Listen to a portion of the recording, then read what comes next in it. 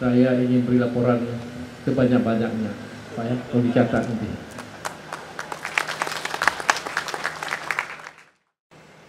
Ikan-ikan yang ada di seperti di Aceh Timur ini tiap malam diangkut ke Medan.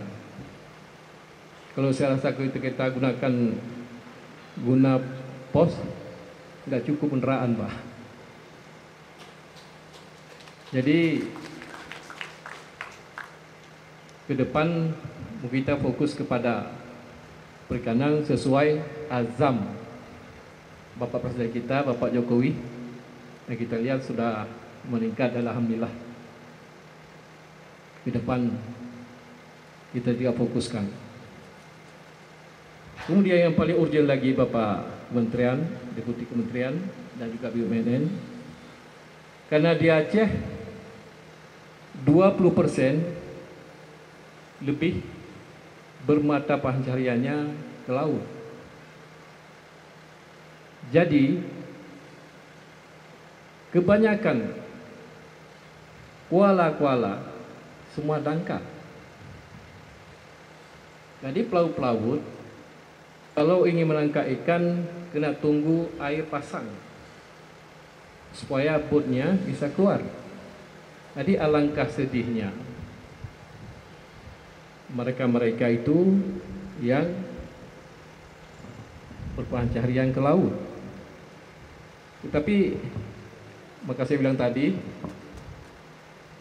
alangkah baiknya kalau kita benahi jalur masuk keluar kuala itu saya rasa lebih efektif lagi dan ekonomi lebih lancar ini hanya dengan uang APBD yang minim. Jadi paksa dibuat uh, kuala itu hanya dengan batu-batu alam. Itu tidak menjanjikan. Karena bulan ini selesai, dua tiga bulan mendatang batu itu hilang. Dan akhirnya kuala itu akan ditumbun pasir dan dangkal lagi. Maka oleh sebab itu, jika ini Pak Deputi Kementerian nanti ingin kita buat contoh satu dua, dua buah kuala, kita buat yang permanen, yang kita apa? Kita peling supaya sampai ke kapan-kapan bisa kita gunakan. Jadi tidak kita kerjakan benda-benda itu. Jadi dengan teknik yang jelas, dengan keadaan yang lama, dan saya rasa kita tidak membazir ruang kita buat kuala-kuala tersebut. Jadi ini yang perlu kita benahi untuk masa depan, dan insya Allah saya rasa lebih menjanjikan. 20% orang nelayan di Aceh berpencaharian ke laut. Ini mungkin saya titipkan PR kepada Deputi Perikanan supaya dapat yang terbaik masa depan negara kita Indonesia.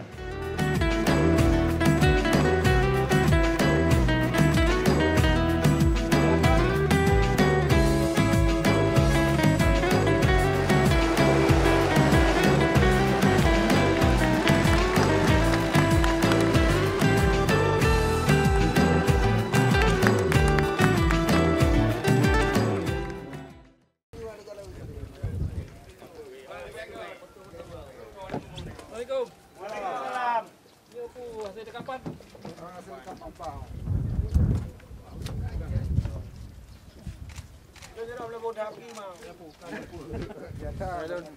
Ya Pak Rokok sama apa pasalnya bu? Pasal Android macam mana? Ya, Pak Sandro. Ana blok dia India, ana. Dia belum blok dia. Drop. Bagi hebat, dia. Kamu. Kamu lupa.